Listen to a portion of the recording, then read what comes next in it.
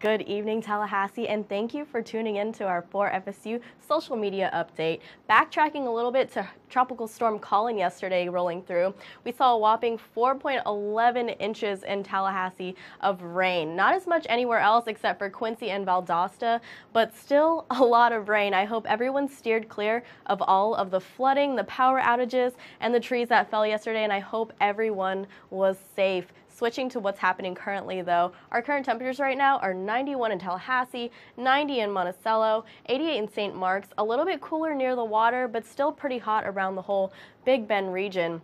Luckily, though, our relative humidity is pretty low right now.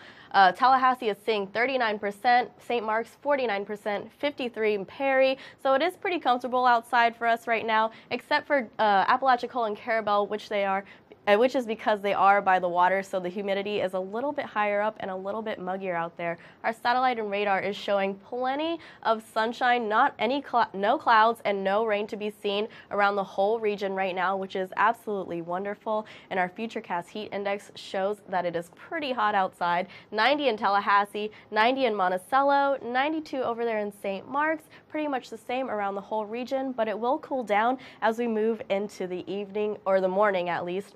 Wednesday at 6 in the morning, we're expect to see, expected to see temperatures in the 60s, 67 in Tallahassee, 66 in Monticello, a little bit higher up near the water, but nothing too bad, a little bit cooler and a little bit nicer. Moving into Wednesday, though, in the afternoon, those temperatures are going to rise up again, and we're going to see those 90s again. 92 in Tallahassee, 92 in St. Marks, 94 in Perry, so make sure to prepare with some sunscreen because it will be pretty hot and that sun will be out. Moving into the morning, though, those temperatures are going to dip back down. We're going to see 65 in Tallahassee, 64 in Monticello, 68 in Perry, so a little bit cooler and a little bit nicer in the mornings.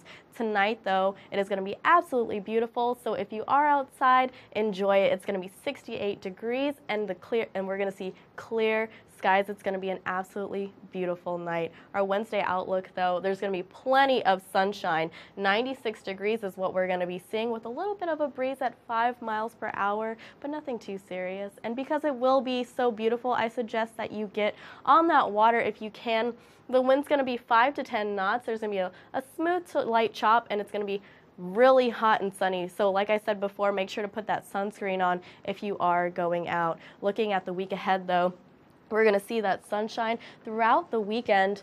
Uh, temperatures in the higher and lower 90s, and as we move into early next week, those percentages of rain are going to kick in. We're going to see 30% chance on Monday and a 40% chance on Tuesday.